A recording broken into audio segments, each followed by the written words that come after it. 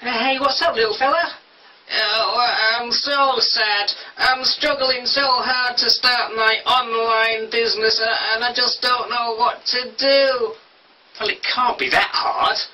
Oh, it is. There's all the technology. Yeah? I, HTML, websites, codes, flashing lights. Oh, it's just too much for me. Uh, I think I'll just have to stick with my regular job. Oh, come on. Uh, Haven't you heard of rich20something.com? No. Oh, it's great. You should check it out.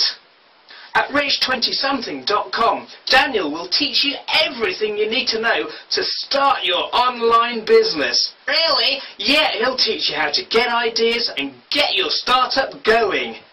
Oh, that sounds great. Uh, but is it one of those scammy cults that'll take all my money? no, Daniel's just a regular guy and he just wants to give you advice. You should go and sign up.